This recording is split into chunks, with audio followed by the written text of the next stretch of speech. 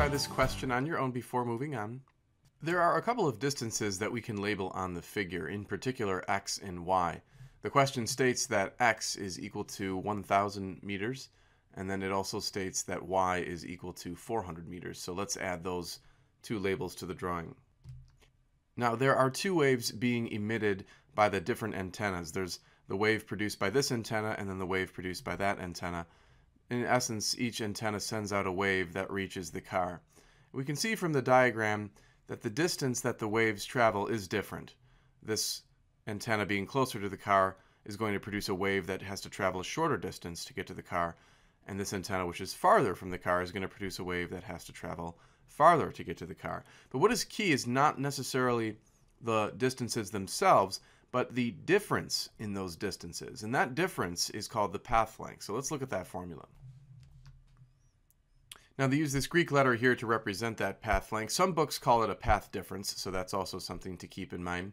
What we need to do is to set that path difference equal to m times lambda. Now how do we know to do that? Well, it turns out that whenever you're in a situation of what is called constructive interference, then you will be setting that path difference equal to m times the wavelength. Now perhaps you're wondering how do we know this is constructive interference as opposed to destructive interference? Well, that depends on the language in the question. They mentioned the second maximum, and whenever we hear the word maximum, we can assume safely that that is constructive interference. On the other hand, if it mentioned minimum, of course, that would be destructive. But in this case, we certainly do have constructive interference.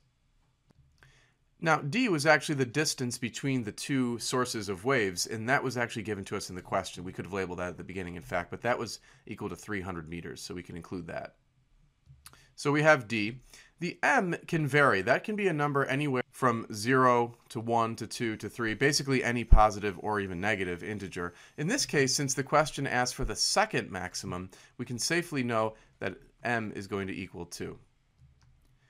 The wavelength is unknown. In fact, that's what part A of this question is asking for, so we're going to have to find that. And then sine of theta is going to come from a little bit of trigonometry. So let's go over to the diagram. And what we want to do is draw a line from the center of the two antennas over to where the car is. Now, when we do that, we can see that we formed an angle right here. And what we want to do is come up with the sine of that angle. Now, of course, the sine of any angle will equal the opposite side divided by the hypotenuse. If we look at this angle, we have the opposite side labeled as being 400. What we don't have is the hypotenuse, so we're actually going to have to step back and use the Pythagorean theorem to find the length of this hypotenuse, and that way we can figure out what the sine of the angle is. So that's our next task, to use the Pythagorean theorem. Now, of course, Pythagorean theorem is a squared plus b squared equals c squared. Looking at the triangle that we just formed in the diagram, we would have 1,000 squared plus 400 squared is equal to the hypotenuse squared, or h squared. We can use our calculators to simplify this. And then we can take the square root of both sides so that we isolate h, the hypotenuse. And when you do that, you should get about 1,077 meters. So there is the hypotenuse. We can now figure out what the sine of theta is. So sine of theta is going to equal the opposite side, which is 400 in our triangle, divided by the hypotenuse, which we just found to be 1077. So this term right here, this sine of theta in the equation, we can substitute in 400 over 1077 in there. So we now have everything we need to figure out the wavelength. We can plug in all the given and known information into this equation right here. So there we have it. We've plugged in all the known values. Don't forget that m was equal to 2 because we're looking at the second maximum. All we need to do now is just divide both sides of this equation by 2, and that'll help us isolate the wavelength. So here we have it, the wavelength. We can certainly use our calculators to simplify this. And when we do that, we get 55.7 meters equal to the wavelength. And that is indeed the correct answer to part A of the question. Now, I think some students have a hard time with part A because they try to mistakenly use the following equation. This is one that's printed in the textbook. I won't go over how to use this equation in this particular case because frankly it would not have worked. We were even given a hint in the question that said do not use the small angle approximation in this problem. This equation right here, which you'll find in your book, only works if the following condition holds. If the sine of the angle is roughly equal to the tangent of the angle. Now we found the sine of the angle to be 400 over 1077. So the sine of the angle, I'm running out of room here, but that was 400 over 1077. The tangent of the angle, tangent is opposite divided by adjacent, so that would be 400 divided by 1000. 400 divided by 1000. If you simplify these on your calculator, now that transforms into 0.371, roughly equaling 0.400. That might seem pretty close, but in order for the small angle approximation to hold true, the first three digits, the first three decimal places, I should say, the first three decimal places have to match exactly in both numbers. And certainly here they don't. This is 0.371, this is 0.400. So if the first three decimal places don't match, then essentially you're not allowed to use the small angle approximation, which means you would not be able to use this equation. So we had to solve it a little bit more rigorously, I suppose. We can now move on to part B.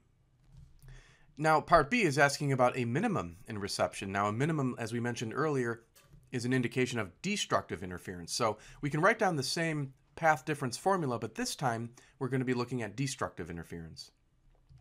Notice in this case we've used the term m plus 1 half as opposed to just m. Remind yourself that earlier we used m for constructive interference. When it's destructive, we want to use m plus a half. Now, of course, we know the wavelength because we found it previously. m is still going to equal 2, and the reason for that is that it's asking for the next minimum in reception. So the very next minimum would come right after the maximum. Well, the maximum had an m value of 2, and so the very next minimum will also have an m value of 2. The d is still fixed at 300 meters. What we need to figure out is the sine of theta. We're going to isolate that. So let's plug in d, m, and the wavelength. And then after plugging in, we can divide both sides by 300. That's going to help us isolate the sine of theta. And then we can simplify that on our calculator.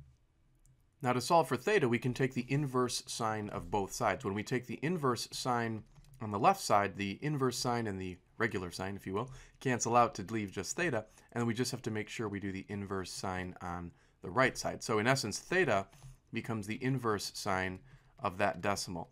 And when we plug that into our calculators, and come over here, we should get a theta of approximately 27.7 degrees. Now, how is this going to help us? Well, to understand that, let's redraw the scenario. So here's the picture again. In the original picture, the car was located at that second maximum, so we've labeled max right here. It's now moving a little bit forward to reach the next minimum. Now we just found the angle to that next minimum as 27.7 degrees. We know that this distance right here is fixed as 1,000 meters as stated in the question. What we want to do is figure out this question mark distance here. That's going to give us the distance up to that second minimum. Now if you look at that blue triangle carefully, you can see it involves the tangent. We have the tangent of the angle 27.7 degrees is equal to the, the side opposite to the 27.7 degrees in the blue triangle, which is this unknown side, so we can just call that y perhaps. And tangent is opposite over adjacent. Adjacent would be the 1,000 meter side right here on the blue triangle, so that's 1,000.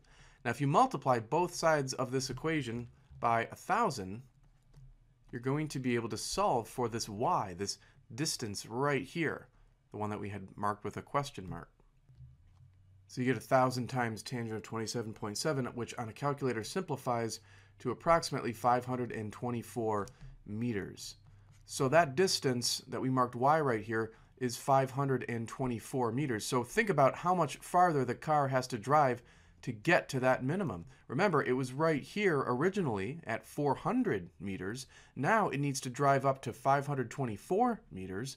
So the distance, the additional distance it has to go is simply 524 minus, uh, 400. So 524 minus 400 is equal to 124 meters. So that's going to be the additional distance the car has to drive from here at the 400 meter mark up to that next minimum at the 525 meter mark. That distance right there is the 124 meters. Thanks very much for taking the time to watch this. If you have any questions, please let me know in the comments. And if you like the video, please subscribe. And also, you're welcome to send your own question to the email address listed on the screen right here.